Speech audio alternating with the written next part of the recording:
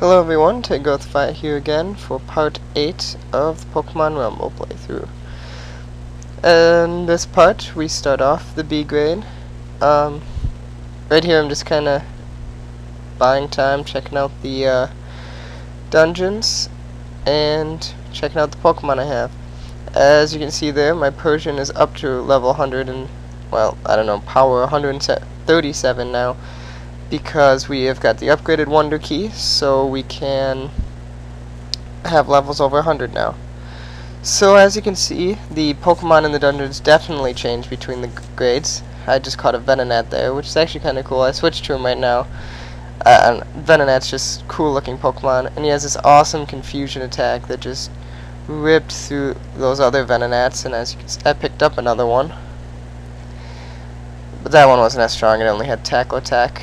Um, I know, I switched back to Hypno for some reason here, but I realized I didn't don't know why I would do that, so I switched to Persian. Uh, a little bit of lag there. Hopefully that'll be fixed soon. I just got a new portable hard drive, so uh, I'm freed up some space on my computer, and hopefully it'll make it run better. Uh, we, lag's not that bad some of the later videos it comes back again, but uh, I don't know. I guess we'll have to wait and see. I'll try everything I can to get get it fixed. So I switched back to Nidoran here because he is my strongest Pokemon. He's not as good as some at clearing out these large groups, but especially with the strength attack is really only good for um, one or two really large Pokemon to take down since it takes uh, some time to uh, charge up and everything. There's a group of Wigglytuff.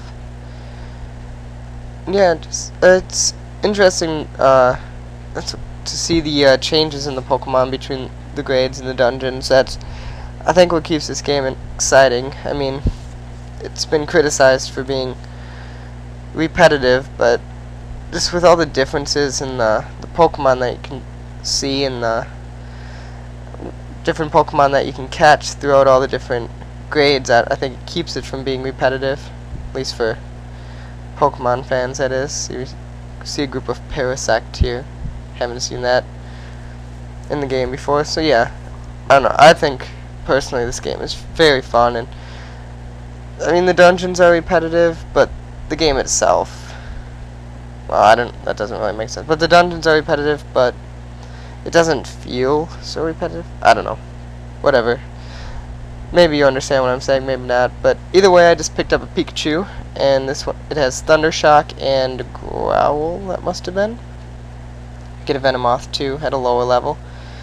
So Pikachu's just destroying some of these. Uh, the status attacks are are very helpful. Yeah, and there's a little bit of lag again there, and I get another Pikachu. The, the, video is starting to catch up. I do switch to that Pikachu. This one has Quick Attack which is actually, and I get another Venomoth. Quick Attack is actually good because it can just whip through um, large groups of guys very quickly, hence Quick Attack. And uh, that, I believe, was Tail Whip, which helps aid Quick Attack. So I'm just Tail Whipping and Quick Attacking.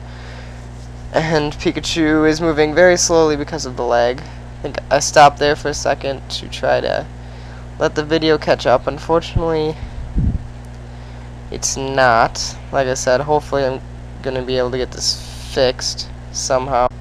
And now we're going to have a quick transition to bring us uh, back to exactly where we started. I paused the game for a minute to let the uh, video catch up and hopefully stop the lag.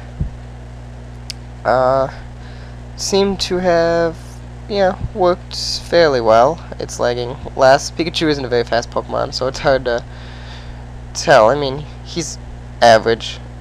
And now the boss is being cranked up, and as you can probably see very easily, it is a Raichu. So, I don't know if I keep out Pikachu, but if I do, it's going to be a uh, mouse Pokemon battle, I guess. Pikachu versus a lot of Pikachu, and its larger version Raichu. Quick Attack is actually very, very good against the bosses. As you can see, it just beasted Raichu. because uh, he it hits them uh, like numerous times, and then Pikachu flies right out of the way. So I did not get Raichu, but I, I don't know. I, he he just got destroyed there, so I don't know how much help he would have been either way. Yeah, that's embarrassing for Raichu, I guess. Quick Attack also is nice for areas like that to get away quickly. Anyway, yeah, 101 Pokemon killed. I get actually a bunch of Pikachus, some Venomoths, some Venonats, all sorts of stuff in that dungeon. And now I am back in the terminal. And I am going to try to switch Pikachu's moves here, see what we get. Oh, I get, yes, I get Grass Knot, which can be very helpful. So yes, we'll try out more of Pikachu in the next dungeon. See you next time.